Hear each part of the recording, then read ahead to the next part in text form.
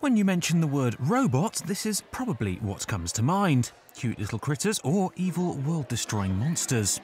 But R2D2 and Titan were pushed to one side on Wednesday by this. He's called Pluto and he's a lifeline for children. The Chelsea and Westminster Hospital want to buy one of these incredibly sensitive robotic surgeons to perform complex operations on children and speed up recovery times. They leave less scars and are also incredibly easy to use. Child's play, in fact, as this young fellow ably proves, which means less mistakes get made. But they don't come cheap at £1.5 million a piece, and it will only be the second one in Britain. So, with a little help from the Gadget Show's Jason Bradbury and Sophie Ellis Bextor, the star studded campaign to buy Pluto has been launched.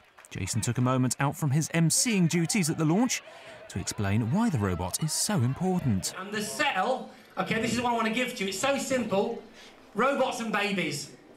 That's it. robots that save babies' lives, robots that improve the quality um, of operations, of the whole surgical experience, which can be very traumatic for young people. The hospital have set up a website where people can buy a piece of the machine pixel by pixel until the total is reached. The picture of Pluto is complete and the kids can start benefiting.